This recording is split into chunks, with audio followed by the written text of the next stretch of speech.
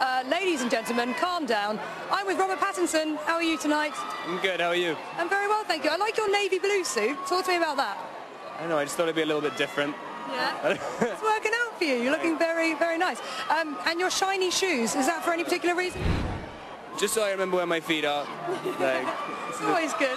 Um, what are you presenting tonight? I'm presenting uh, Best Foreign Film. Okay. Is there anyone you're hoping will win?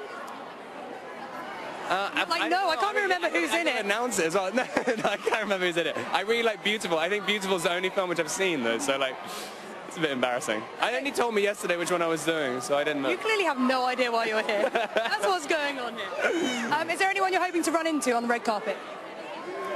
I don't know. I definitely don't know who's coming. I just bumped into Claire Danes, and I think I know her already, and I think she's really great. Yeah. I hope she wins. But, right. um, Thank you very much for talking to me. Cheers.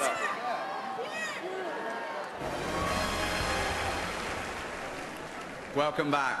Now, our next presenters are young and thin, with hair and teeth. They're lovely to look at, which is just as well because they're presenting the award for Best Foreign Language Film, a category that no one in America cares about. Please welcome Olivia Wilde and Robert Pattinson.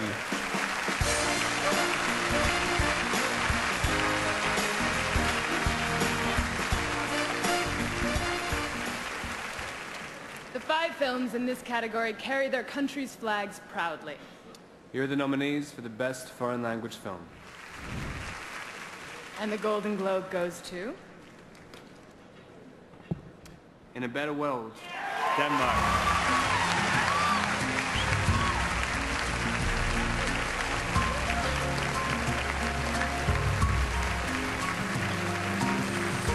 Accepting the Golden Globe for In a Better World is director Susanne Bier.